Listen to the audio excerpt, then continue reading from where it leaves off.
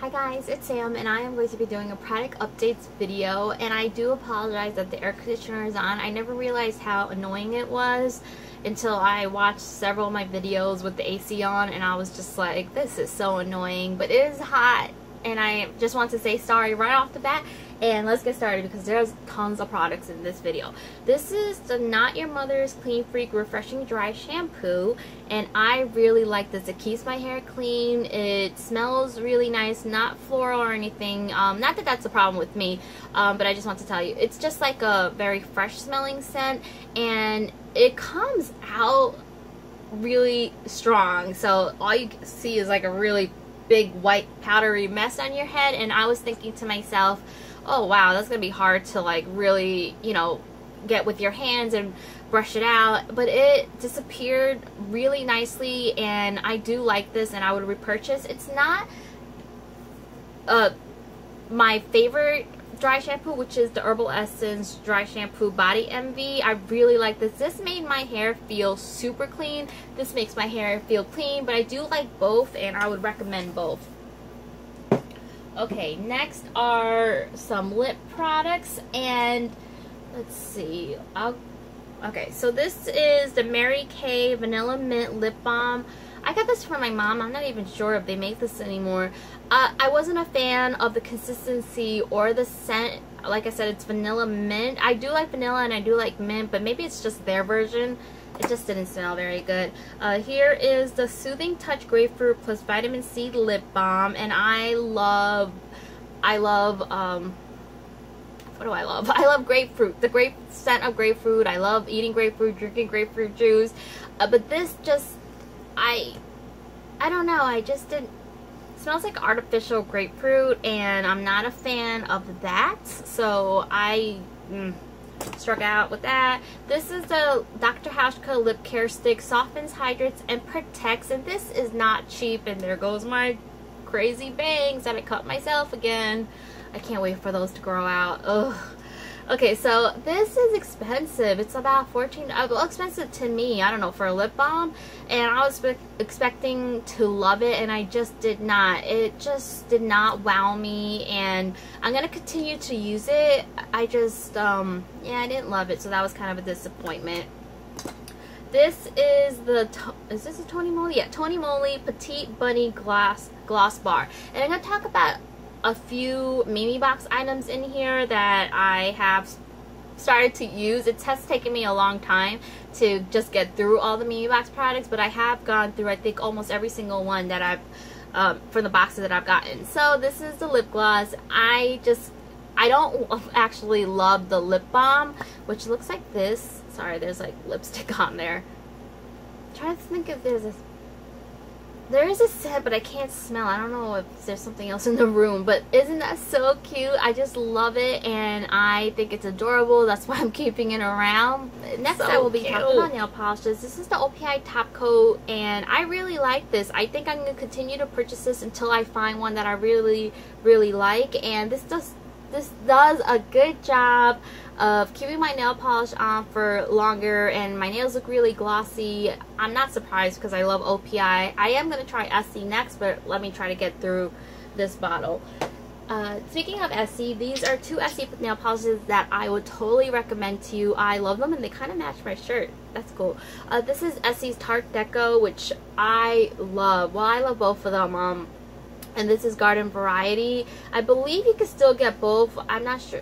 This is from the spring collection that's out so hopefully you guys could still get it. I think this is permanent. But they're just both great colors for the summer and just really really beautiful. This one my sister had i got her this one and i wanted one of my own because the color was just so beautiful Okay, next is Zoya's Hazel, and this is a really cool color because it looks like it's foiled when you look at it like this way, and in the sun it looks really nice, but I'm just not loving the formula. You need, I feel like, two or three coats, which two isn't bad. I feel like three is a bit much sometimes, um, and I just, you guys, you guys, people who love Zoya, let me know what colors I should try that are good because I just have been, it's been missed for me when I've what of what I've tried from Zoya.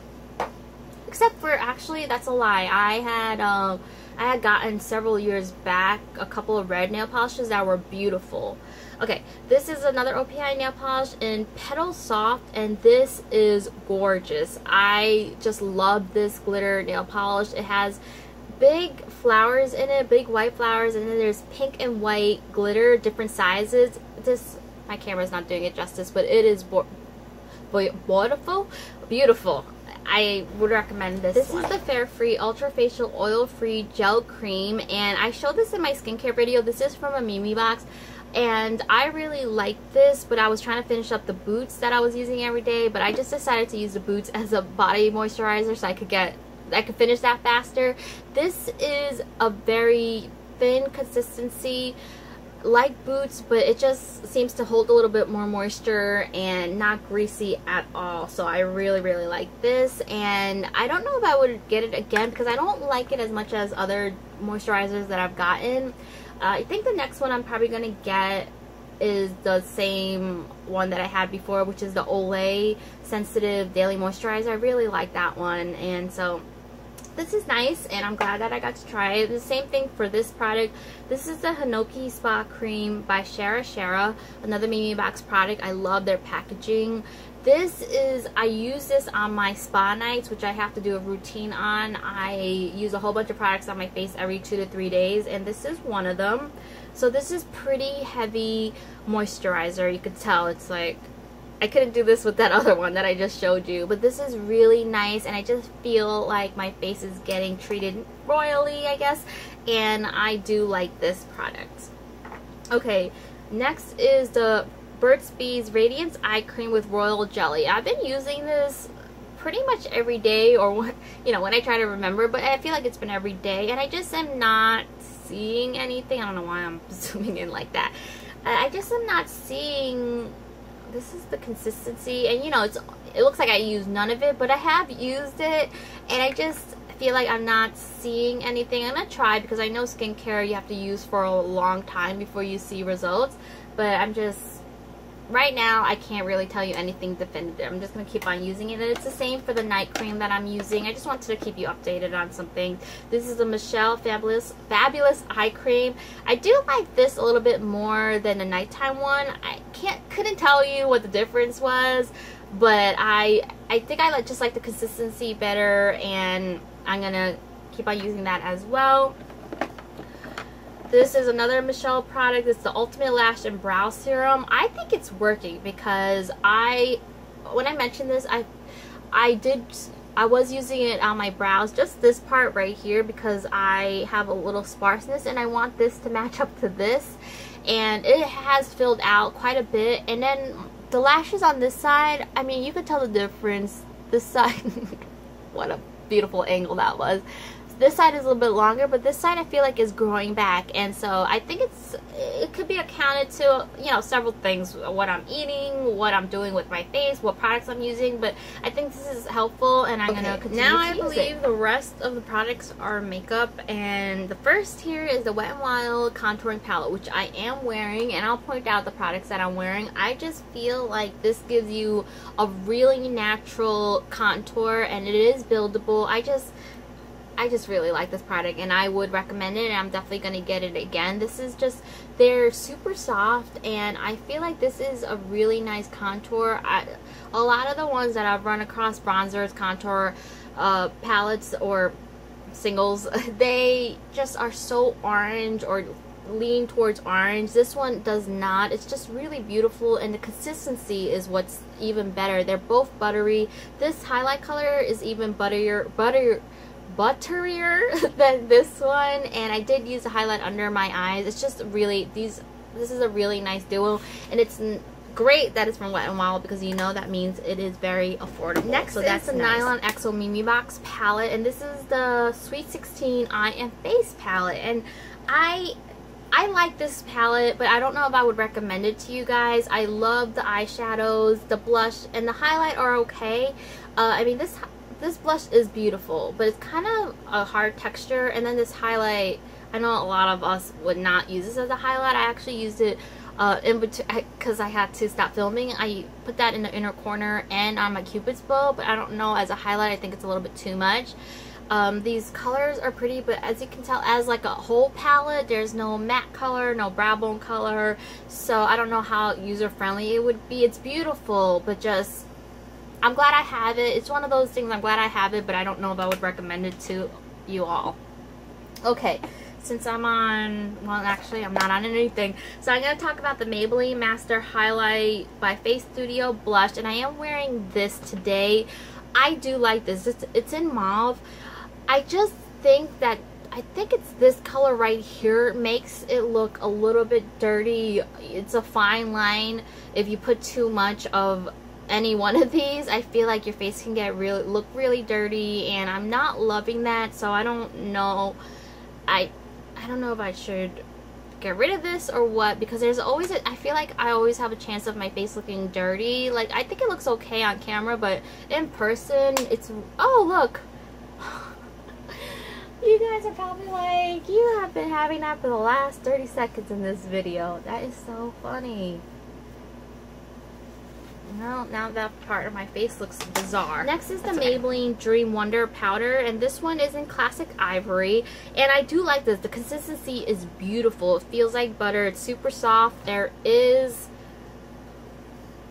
extra coverage in here. I just don't think I like it as much as other drugstore powders that I have tried, like Milani Face Powder, Multitasker Face Powder, and uh, NYX is NYX's matte but not flat, and the L'Oreal True Match. I like those a lot better than this, but this is nice, and I love the packaging. Okay, uh, here is the L'Oreal Color Lift Blush in Nude Lift this is really pretty. I love the L'Oreal Visible Lifts. I think they're beautiful. They just give you a really nice sheen. I'm going to put some.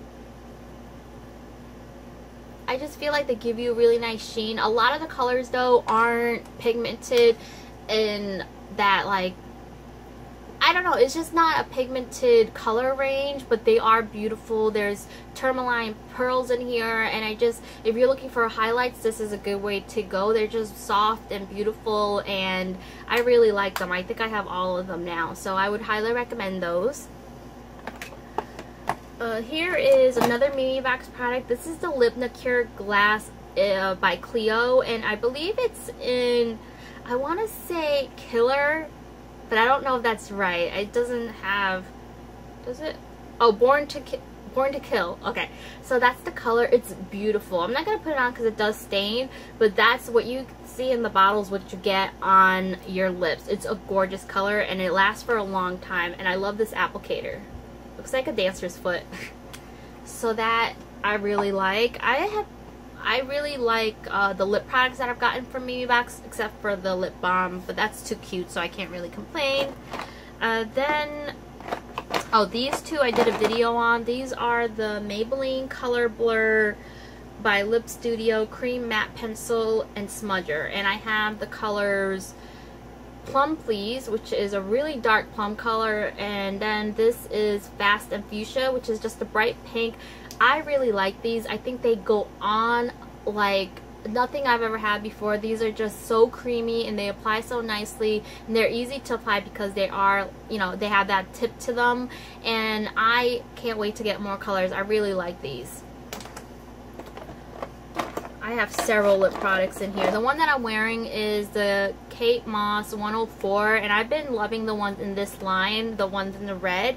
And this is just a great everyday color and they're creamy and I, yeah, I just have been really liking this line so far. This is 104. Very good for everyday. And then this is Revlon Colorburst Matte Balm in Shameless. And this is an amazing color. I love it. It's really purple, really dark, and I would recommend this. This is really nice too.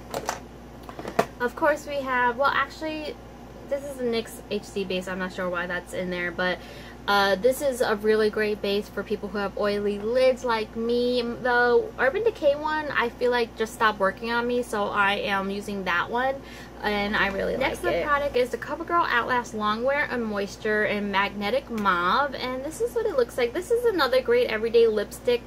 uh, color and I'm glad I tried this. I don't know I would get any more from the line. I don't feel like it's anything too special but if you have this and you have a color that you think I should try let me know because I I just have this one and I think it's good. I just don't feel like Next getting anymore. The Instant Age Rewind Eraser for dark circles, and it's in the brightener shade. It is really brightening. I, I have to be careful because sometimes I tend to use too much, and that is why I took the little ball off because I just never knew how much was in there, and I just did not like using that, so I took it off, and it's much easier to get the product out and see how much you're getting. You only need a very little bit, so I think I'm going to have this product for a very long time now but I do like it and I could see why everybody else likes it too. I just um the color was a little bit getting used Next to Next is the CoverGirl Outlast Stay Luminous Natural Glow Foundation in A42 which is medium beige and this is a nice foundation but I like the original much better. I feel like that has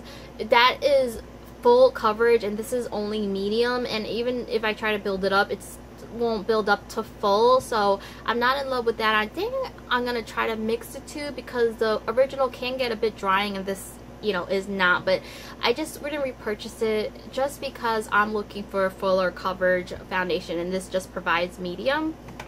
If my face was perfect I would probably love that foundation. Okay uh the no not the last thing. This is second to last. This is the Almay is so small. Brow defining pencil. I love this. This is probably my favorite brow pencil that I've tried. This is, this is very similar to the Maybelline Definer Brow, but I feel like this is much better.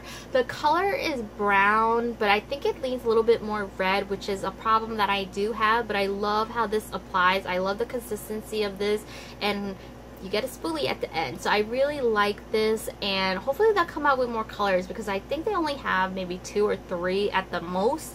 It might just be two. And the very last product is a brush that I got from Target. It's by their brand Up and Up and this is the blush brush. It's been well used and well loved. I love this brush. I'm going to definitely get more of these up and up brushes. And this one in particular I feel like you could do so many things with it. You could do contour your contouring with it which I did today. You could apply blush you could apply highlight. Just just you could apply powder if you wanted to with it. It's just and it's soft too. So you really can't beat the price on how good the quality is. And I like I said I'm definitely getting more of this. And I thought I would end this video since I talked about so many products the top three things you should get. The first is the Target up and up blush brush Next is the Maybelline Color Blur by Lip Studio Cream Matte Pencil and Smudger. And then the last is the Almay Brow Defining Pencil. So those are the things that I think you must run and get if you're going to try anything from this video. And that is it. I hope you guys enjoyed it. And I will talk to you guys soon. Bye.